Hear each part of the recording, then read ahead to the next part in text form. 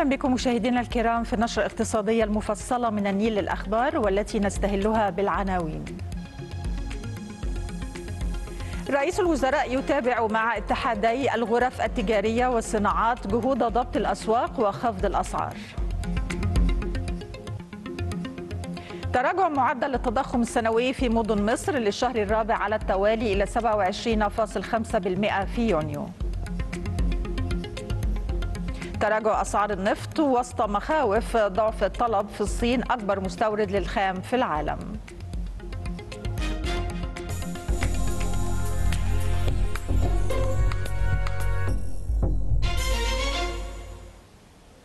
أهلا بكم النشرة بالتفصيل. أكد رئيس مجلس الوزراء الدكتور مصطفى مدبولي أهمية دور مختلف الجهات الرقابية في متابعة حركة الأسواق بما يسهم في ضبط أسعار مختلف السلع مشيرا إلى ضرورة استمرار تلك الجهود إلى جانب استمرار التنسيق خلال الفترة المقبلة مع الاتحاد العام للغرف التجارية واتحاد الصناعات سعيا للمزيد من ضبط الأسواق وخفض أسعار السلع. جاء ذلك خلال الاجتماع الذي عقده مدبولي اليوم لمتابعة جهود خفض أسعار السلع بمختلف الأسواق.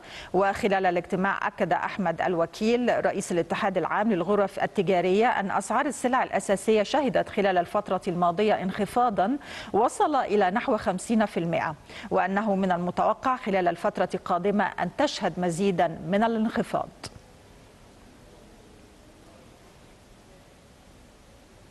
من ناحية أخرى شدد رئيس مجلس الوزراء الدكتور مصطفى مدبولي على أهمية الالتزام بوضع الخطة الخاصة بوقف تخفيف الأحمال بنهاية عام 2024 وأكد رئيس الوزراء خلال لقائه اليوم مع وزير الكهرباء والطاقة المتجددة محمود عصمت أهمية رفع كفاءة مرفق الكهرباء والعمل على مجابهة سرقات الكهرباء منعا لاستنزاف موارد الدولة.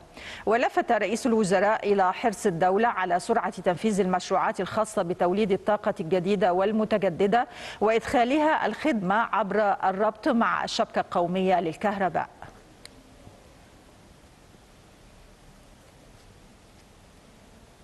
أكد رئيس مجلس الوزراء الدكتور مصطفى مدبولي أن ملف الزراعة يعد من أهم الملفات التي تم النظر إليها عند بناء برنامج الحكومة الجديدة حيث يمثل أحد أربعة قطاعات تضعها الحكومة على رأس أولويات أجندتها إلى جانب قطاعات الصناعة والاتصالات وتكنولوجيا المعلومات والسياحة. جاء ذلك خلال لقاء مدبولي اليوم مع علاء الدين فاروق وزير الزراعة واستصلاح الأراضي لاستعراض رؤية عمل الوزارة خلال الفترة المقبلة.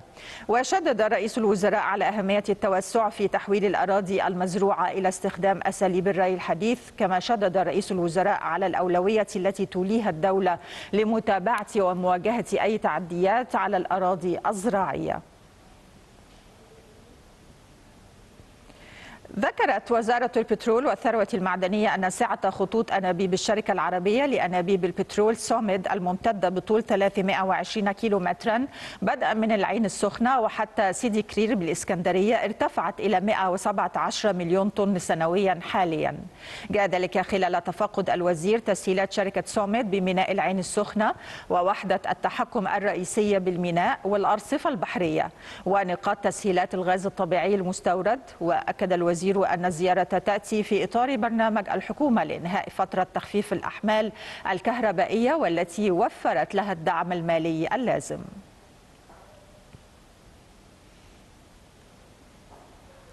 أظهرت بيانات من الجهاز المركزي للتعبئة العامة والإحصاء أن معدل التضخم السنوي لأسعار المستهلكين في المدن انخفض إلى 27.5% في يونيو من 28.1% في مايو. وواصلت معدلات التضخم التباطؤ للشهر الرابع على التوالي في يونيو ليستكمل مسار هبوط يتوقع محللين أن يستمر لبقية العام على الأقل. وأرجع أسباب الانخفاض التضخم على المستوى السنوي إلى عدة عوامل منها تراجع أسعار بعض المواد الغذائية.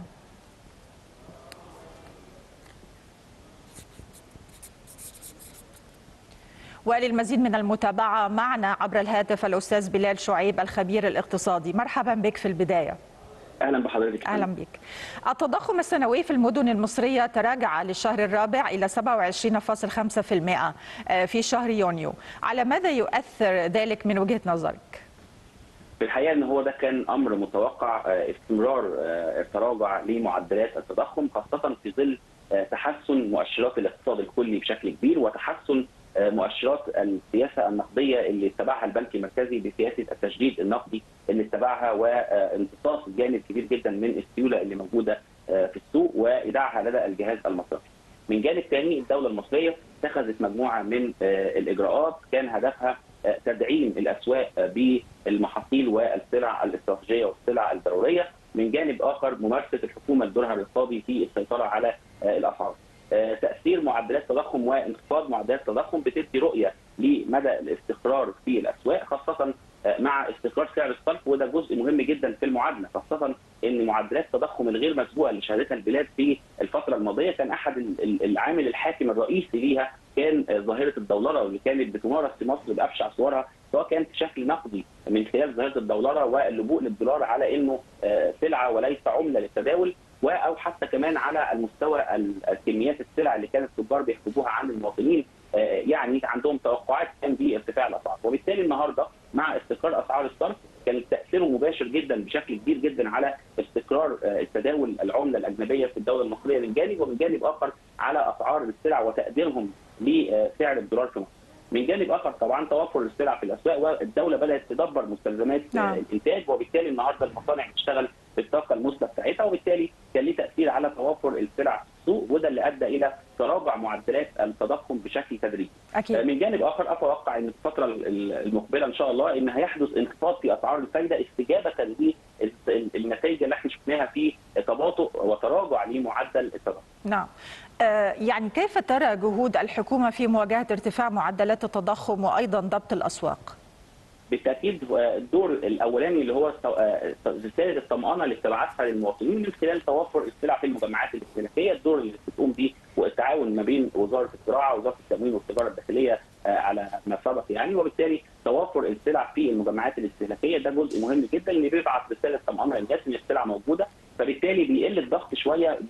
بعمل عملية تحكم في جانبي العرض والطلب، جانب العرض إن أنا بوفر كحكومة السلع اللي موجودة وشفنا التوجيهات الرئاسية من الرئيس عبد الفتاح السيسي بتدبير كميات إضافية من السكر في الشهور السابقة وبالتالي ادى خاصة إن السكر بنبص له حتى كسلعه استراتيجيه إحنا نسبة اكتفائنا من السكر حوالي 90% وبالتالي كان الاسواق أو كان بعض التجار مش هنقول مش هنعمم الظاهرة كان بعض التجار كان بيحجب السلع أو بعض السلع عن الأسواق. وبالتالي النهارده الدولة تدخلها في الوقت المناسب من خلال توافر السلعة في المنافذ الاستهلاكيه ومن خلال بعض المبادرات اللي بتقوم بها المجتمع المدني بالتعاون مع القطاع الخاص والحكومة زي مبادرة كلنا واحد نعم. والمبادرات دي بيكون ليها تأثير بشكل إيجابي نعم. على توافر جانب العرض من السلع من جانب آخر طبعا مم. التأثير على جانب الطلب من خلال طمانه الناس اللي السلعة موجودة من خلال الدور الرقابي اللي بتقول به الحكومة وبالتالي نعم. توافر السلع بيؤدي إلى التأثير بشكل مباشر على تراجع معدلات التضخم نعم.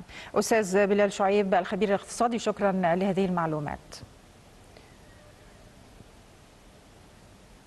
أعلنت وزارة الزراعة واستصلاح الأراضي أن إجمالي الصادرات الزراعية في النصف الأول من عام 2024 بلغ 4.9 مليون طن بزيادة قدرها 300 ألف طن في العام السابق. جاء ذلك في التقرير النصف سنوي والذي تلقى وزير الزراعة واستصلاح الأراضي علاء الدين فاروق حيث بلغت القيمة الدولارية للسلع الزراعية الطازجة المصدرة للسلع الرئيسية نحو 2.9 مليار دولار بزيادة قدرها 600 مليون دولار عن نفس الفترة من العام. العام الماضي.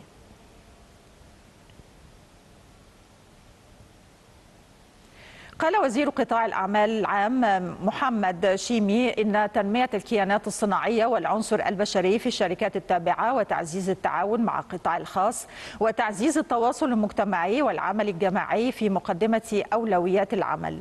جاء ذلك خلال الزيارة التي قام بها الوزير إلى شركة مصر للغزل والنسيج بالمحلة الكبرى حيث التقى مع محافظ الغربية ونواب البرلمان لاستعراض الموقف التنفيذي بمشروع تطوير شركة غزل المحلة ومراحل إنهاء الأعمال بالمصانع وتوريد وتركيب الماكينات الحديثة.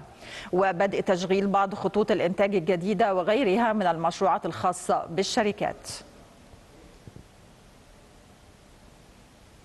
أكد المهندس كامل الوزير نائب رئيس مجلس الوزراء للتنمية الصناعية وزير الصناعة والنقل وأهمية وضع آلية لاشتراطات هيئة التنمية الصناعية وجهاز شؤون البيئة بما يحقق مستهدفات الدولة من حيث زيادة الاستثمارات الصناعية والتوسع في منح التراخيص أو منح التراخيص الصناعية. قال الوزير خلال لقاء موسع مع وزيرة البيئة ياسمين فؤاد إنه من المستهدفات أيضا الحفاظ على البيئة من التلوث والتخفيف من أثر المخلفات الصناعية على البيئة وتعزيز مبادئ الاقتصاد الأخضر في الصناعة المحلية. وأكد أنه لن يتم غلق أو تعطيل عمل أي منشآت صناعية وضرورة التزام المنشآت الصناعية بالاشتراطات البيئية. سجلت مؤشرات البورصة المصرية تراجعات نسبية لدى إغلاق تعاملات اليوم الأربعاء مدفوعة بعمليات جني الأرباح بعد الارتفاعات التي سجلتها بعض الأسهم الكبرى والقيادية في الجلسات الأخيرة. وأغلق رأس المال السوقي لأسهم الشركات المقيدة بالبورصة عند مستوى تريليون و910 مليار جنيه بعد تداولات كلية بلغت أكثر من 102.5 مليار جنيه فيما بلغت تداولات سوق الأسهم 24.3 مليار جنيه. وتراجع مؤشر البورصة الرئيسي إي جي اك 30 بنسبة 73 من 100% ووصلت قيمته إلى 28287.9 أما EGX 70 فنسبته أيضا تغيرت وصلت إلى 57 من 100% وقيمته وصلت إلى 6278.6 EGX 100 الأوسع نطاقا أيضا نسبة التغير وصلت إلى 59 من 100% وقيمته وصلت إلى 9095.5 قال رئيس هيئة قناة السويس أسامة ربيع إن نشاط إصلاح وصيانة السفن بالترسانات والشركات التابعة للهيئة شهد نموا ملحوظا خلال الآونة الأخيرة حيث نجحت ترسانات الهيئة في تقديم نموذج عملي في دعم العملاء من الخطوط والتوكيلات الملاحية من خلال تقديم خدمات الإصلاح والصيانة. جاء ذلك خلال تفقده اليوم شركة ترسانة السويس البحري إحدى الشركات التابعة للهيئة وذلك لمتابعة سير العمل والوقوف على مستجدات نشاط إصلاح وصيانات السفن والوحدات البحرية المختلفة بالشركة.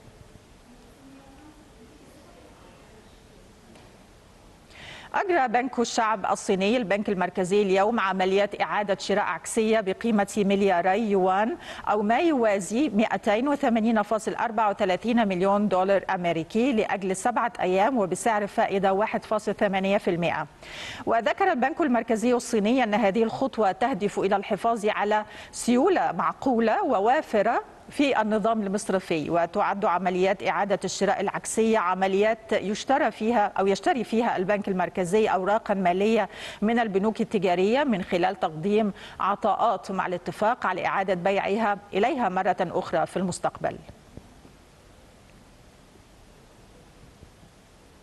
أقر مجلس النواب بالبرلمان الروسي اليوم بشكل نهائي زيادات ضريبية اقترحتها وزارة المالية. ستتضمن زيادة معدلات تصاعدية لضريبة الدخل وزيادة ضريبة الشركات إلى 25% من 20% وفرض ضرائب جديدة على استخراج المعادن. وقد تضيف الزيادات الضريبية التي تستهدف في الغالب الشركات والأثرياء 30 مليار دولار إضافة إلى إيرادات ميزانية العام المقبل مما سيسمح تسمح لموسكو بزيادة الإنفاق وتمويل حربها في أوكرانيا دون المساس بالاستقرار المالي.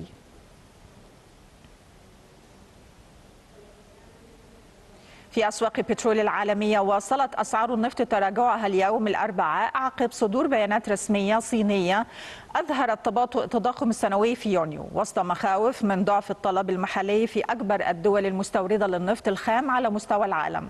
وانخفضت العقود الآجلة لخام مزيج برنت القياسي بنسبة 37 من 100% إلى 84.35 دولار للبرميل.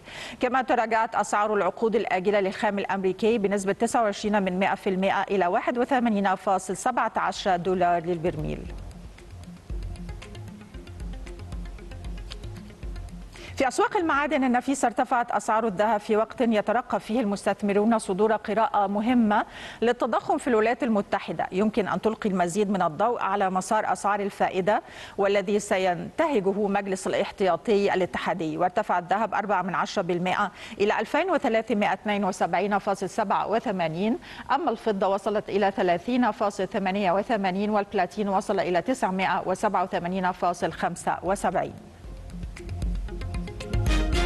انتهت النشرة والآن مع أبرز العناوين. رئيس الوزراء يتابع مع اتحادي الغرف التجارية والصناعات جهود ضبط الأسواق وخفض الأسعار. تراجع معدل التضخم السنوي في مدن مصر الشهر الرابع على التوالي إلى 27.5% في يونيو. تراجع أسعار النفط وسط مخاوف ضعف الطلب في الصين أكبر مستورد للخام في العالم. انتهت النشرة الاقتصادية. شكرا لطيب المتابعة وإلى اللقاء.